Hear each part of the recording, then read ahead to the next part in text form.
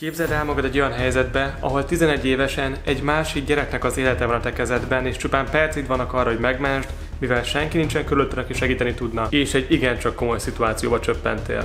Nos hát ezzel fogunk foglalkozni a mai videóban. Sziasztok srácok! Én viccelek vagyok és köszöntök mindenkit a mai videóban. Azt kell mondjam, február közepe van, úgyhogy már végre közelik is a tavasz. Leszámítva, hogy kb. mínusz 15 fok van. Aztán viszont már csak pár hónap és végre itt lesz a nyár, a kikapcsolódás, jó kis szórakozás, feltéve, hogy azt a vírus lehetővé teszi. Na mindegy, induljunk ki abból, kacok, hogy végre nem sokára vége van a télnek, jöhet majd a tengerpart, a kikapcsolódás, a szórakozás. Éppen ezért egy igazi vakációs sztorit hoztam el nektek, ami egy nem várt hatalmas fordulatot vesz időközben, és hát így egy elgondolás gondolkodtató és tanulságos sztori fog ebből kikerekedni. Egy átlagos nap volt ez is a kaliforniai Marine Dunes tengerparton. Családok sétálgattak a majdnem fél kilométer hosszú partszakaszon, emberek úsztak önfeledten a vízben, és a gyerekek pedig a homokban játszottak.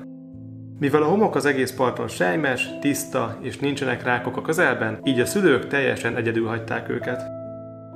Connor és barátai hatalmas homokvárakat építettek, majd ezt követően elkezdték kiásni az épületek alatti részt. Egyre mélyebbre és mélyebbre ástak alapátjaikkal, már-már versenyeztek, hogy ki tudja a legnagyobb alaksort kiválni a homokvára alá, anélkül, hogy az leomlana. Ekkor következett be a baj, ugyanis az öt éves Elissa, aki szintén rohamos tempóban ásta a homokot maga és az épülete alatt, sajnos figyelmetlen volt és túl mélyre ásott. Egész testtel már a föld alatt volt, amikor is a homokvára egyszer csak beomlott és eltemette a kislányt. Egyik pillanatról a másikra történt az egész, és senkinek fel sem tűnt, hogy mekkora harcot vív valaki a ráomló homokkal, de sajnos a lánynak semmi esélye nem volt a nagy súly alatt, végül pedig mivel az orrába és a szájába is belehullott, nem kapott levegőt és elvesztette az eszméletét. Azonban szerencsére a pár méterre lévő Connornak feltűnt, hogy a lány, akit néhány másodperc ezelőtt még látott, hirtelen teljesen eltűnt, így oda is rohant megnézni, hogy mégis mi történt. Mivel sehol nem találta, így elkezdett gondolkodni, hogy hova tűnhetett. Ekkor rájött, hogy éppen alatta van, és azonnal tudta, hogy cselekednie kell. Körbenézett és megpróbált segítséget kérni, de senki sem volt ott a szülők közül. Tudta, hogy nagy a baj, és ezért a saját kezébe vette az irányítást.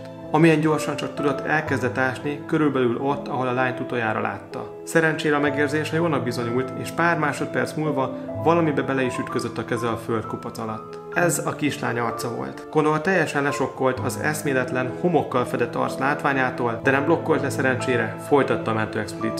Gyorsan kiásta a fej körül a homokot, hogy legalább kapjon levegőt. Ezt követően a teljes testét kiásta és ki is húzta a föld alól, azonban ahogy végre a napsütésben ott feküdt a felszínen, egyáltalán nem lélegzett a játszótársa. A többi gyerek ekkor elszaladt, hogy szóljanak a szüleiknek, azonban Connor hősiesen ott maradt, és elkezdte mesterségesen lélegeztetni, és egyben újraéleszteni a lányt. Az egészben pedig a leghihetetlenebb, hogy ezt ő sehol sem tanulta, egyszerűen csak az NCIS-ben látta régebben, ami a kedvenc tévéműsora volt. Kitartóan csak is azt szem előtt tartva, hogy megmentse a lány életét, folytatta a CPR-t egészen addig, amíg meg nem érkeztek a szülők, akik azonnal hívták a 911-et és segítettek a fiúnak. Csodával határos módon a percekig eszméletlen lány újra lélegezni kezdett, és kis idő múlva kiértek a mentők is, akik azonnal kórházba szállították őt. Szerencsére az orvosi vizsgálatok után megállapították, hogy Elissa állapota nem életveszélyes, sőt, Connor talpra esett és gyors segítségnyújtásának köszönhetően a lány bármiféle károsodás nélkül megúszta az esetet, és teljes felépülésre számíthat.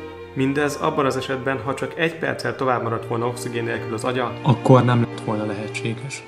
A híradóban már az apja büszke szavai is hallhatóak voltak. I'm glad he was able to sit back and go, okay, wait a minute, something's going on. There's not a parent here. I know they're at least a quarter of a mile away. I need to do something. Így sikerült tehát egy mindössze 11 éves gyereknek megmenteni egy másik nála fiatalabb játszótársának az életét, és így vált valaki egy igazi hősé. Írjátok meg skacok kommentelben, hogy ti mit tettetek volna ebben a helyzetben, esetleg elszaladtatok volna szólni a szüleiteknek, esetleg kiabáltatok volna a torkotok szakadtából, megpróbáltátok volna kiásni, vagy esetleg valami teljesen más.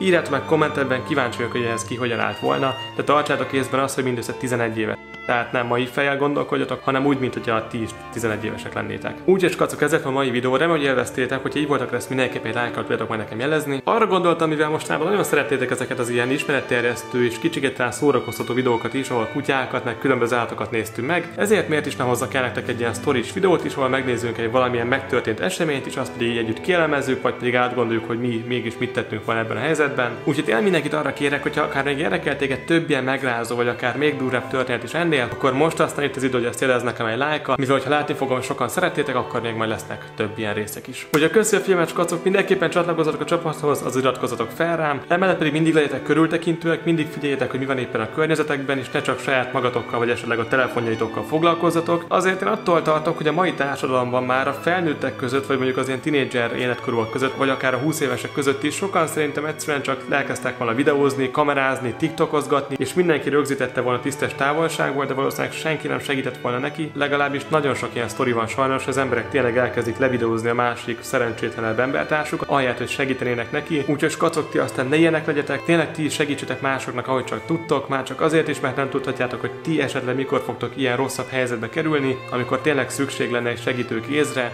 ami hát, hogyha mindenki így viselkedik, akkor sajnos nem lesz ott. Úgyhogy legyetek jók, vigyázzatok másokra is, de leginkább saját magatokra. Kövessetek be engem Instán, hogy érdekel majd titeket sok-sok ilyen nyári kaland, mert nyáron rengeteg terven van. Még lehet, hogy akár élő Instagram közvetítést is majd fogok csinálni, úgyhogy mindenképpen kövess be engem. Én pedig most megköszönöm a figyelmet nektek, skacok, holnap is találkozunk egy másfajta videóban, addig is még. Sziasztok!